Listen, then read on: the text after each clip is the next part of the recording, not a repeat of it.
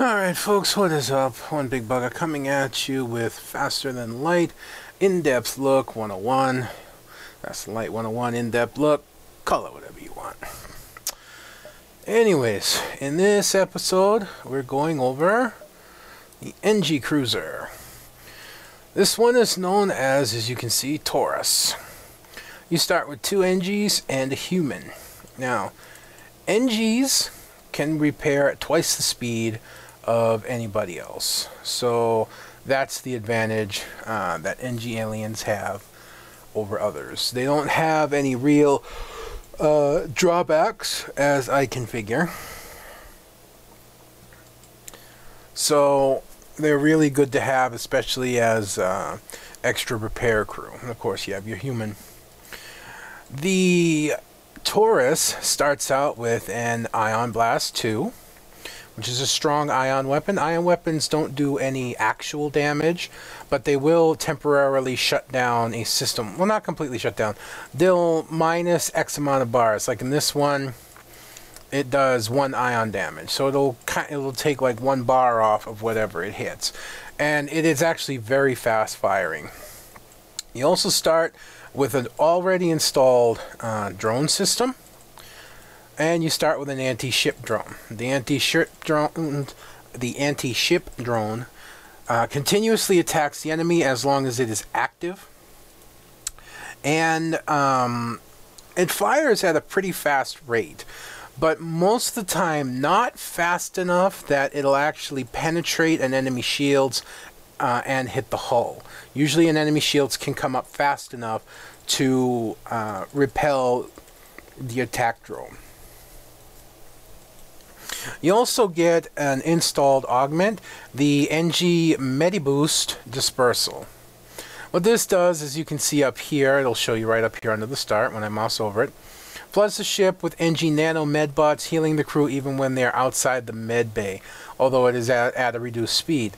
This is very, very helpful. Even though it is a reduced speed, um, it does allow your crew to heal wherever they are. So it allows you to put out fires. Allows you to withstand fixing um, hull breaches in uh, oxygen where um, there's no oxygen. And it also helps when you're fighting to repel boarders. You will be healing where they won't. So it usually allows your crew to stand down uh, other boarders. This is dependent on the med bay. If you do not have your med bay powered up, this ability will not work. So it is always good to have the med bay powered up on um, an Engi cruiser, which most ships you can deal without it, and then you send your crew in to get healed. In this situation, it's actually kind of beneficial to have your med bay powered up all times. Now, the Engi Cruiser is not the easiest cruiser to starve enemies of oxygen should you be boarded. As you can see here, you only have access doors here and here. So you can kind of starve them out in this area. This area back here is really difficult to starve enemies out, and you can starve them out up in here, and even up in your pilot section if you don't have a ship to worry about. If they board in here, the advantage is if they do board in the pilot area, you're right next to the med bay, so that really helps out against boarders. Your drone control is uh, back here. You can pick up crew teleporter, which I think is here, and stealth, which I believe is here. Um, not much else on the Torus, so why don't we head uh, into the game for a minute. Now, the Torus, like any other ship, does not have um, enough to power up everything. You have enough to power up your anti-ship drone, and your ion blast. You actually have one more drone slot more than what you need for uh, anti-drones. Or for drones, rather, anti-drones. now, with the Torus, like most other ships, you really want to rush your second level shields and your second level doors before you leave the first area. So before you're out of area 1, you want level 2 shields and you want level 2 doors. But um, as you can see, you don't start out with the amount of scrap that you do on other ships. Uh, usually have enough to buy a slot. Sorry, I'm a little tired. Normally you have enough to buy a slot somewhere. In this particular instance, you do not. So, if you want to power up your shields to level 2, you have to you have to take your med bay offline. But you start with so much extra in a sense that it's really useful. Unlike other ships though, you can only have three weapons. You cannot have four weapons. But to balance that out, you can have three drones in which um, most ships when you install a drone control system, you're only allowed to have two drones. So that's the basic idea of that. Let's see if we can find someone to pick on. Alright, here we go. Automated ship. Actually, this is going to be easy because he doesn't have any shields. We just want to target his weapons. There we go. Missile launchers offline. Now, the drawback is I can't control... Um, I can't control the drone. So that's a minor drawback, of course. Oh, we already got a Hermes missile. Actually, that's a pretty decent find, even though... Um, I'm trying to think. Even though it's 3 power, and that's a long way to go to boost that up. But the Hermes missile is pretty strong. So let's see if we can find another guy with shields.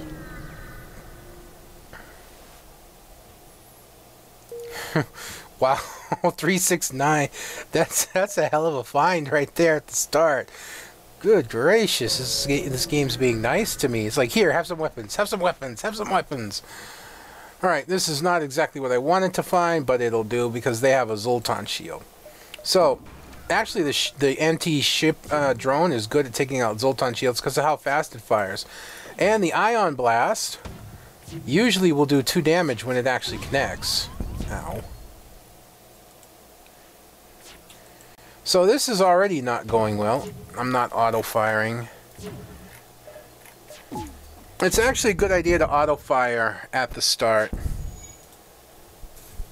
But there we go. Ah, screw you. Ion Blast. Come on.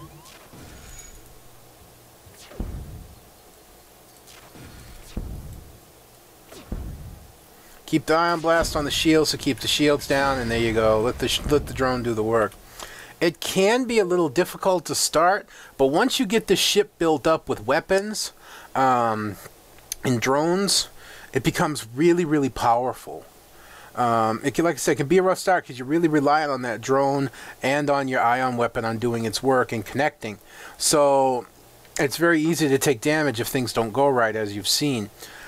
But if you can get three anti-ship drones going, uh, three level one anti-ship drones, not three level uh, two ship drones. Uh, if you can get three of those going, your ship is amazingly strong. And I've actually found it's good to have two ion blasters, uh, very powerful ion blasters, and then maybe a missile weapon. Uh, really works well um, especially if you get like a Pegasus missile, the Hermes is okay. But if you can get like a couple ion weapons and a missile weapon and three anti-ship drones on this, you're going to be rolling over things. The one thing I forgot to mention is that this does not start with missiles. It actually starts with just fuel and drone parts. You start with no missiles, so you have to collect missiles along the way if you want to use a missile launcher. If you don't want to use a missile launcher, getting something like a burst laser Mark II uh, a heavy laser, even a heavy laser Mark III like this one. Um, something of that nature, a hull laser, you know, something that fires multiple shots, like two, three shots at least, uh, is a good alternative to a missile launcher. Um, of course, you only need one ion weapon. You can go two different weapons, but two ion weapons, three anti-ship drones, and some sort of missile weapon really seems to be the strongest combination on this ship by far. Alright, now we have Type B, the Vortex. Now this ship is a little more difficult to use. You're only given one crew member. Okay, as you can see, you only get one engine. You're completely reliant on drones. drones for uh, system repair, and an anti-personnel drone to help attack boarders on your ship. You have a heavy ion, um, which does two ion damage per hit, and a heavy laser Mark 1, which only fires one shot of the heavy laser. So, yeah, you're really, really gonna struggle on the start with this because you must get a better or another weapon really quickly. And preferably crew members and to switch your drones out from system repair and anti-personnel to something a little more um, viable. Well, see, I can start these two up, but then I have nothing for my anti-personnel and for my system repairs drone. So I can take down my take that down by one, and then I can activate one or the other. So actually, why don't we pay into another power? Doesn't actually help anything right now, but uh, let's see how a fight goes, shall we? Alright, not exactly what I wanted for a fight, but it'll do.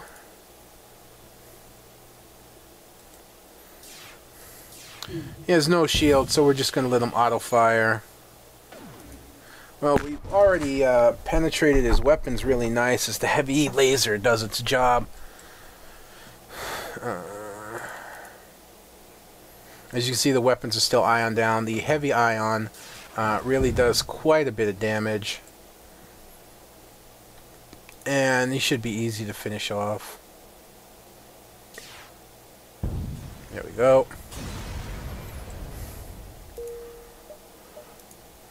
And we'll see if we can find one more. Alright, this looks uh, pretty good. Not going to really penetrate my shields too much, but potential for some damage here.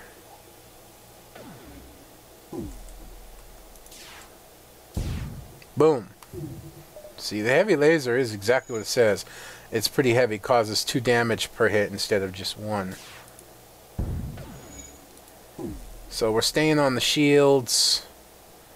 Now we're going to target with the heavy laser, see if we can take the shields down permanently. Bam, there we go. Destroying the ship is pretty permanent. And contact the civilian ship, and they give us a second heavy ion. Not bad. Definitely not bad to start. But again, you need that damage for later on. Let's go one more. see if we go one more. Nothing. And the only way to go here is backwards. Yeah, that that's really paying attention to my jumping methods, huh? Uh, uh, yeah, this is not going to be fun.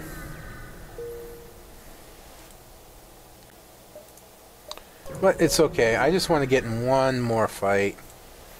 Let's see if I can take a little... Alright. Uh, again, a little potential for damage. Not much. Firing the heavy laser would be pointless because it would just bounce off the shields.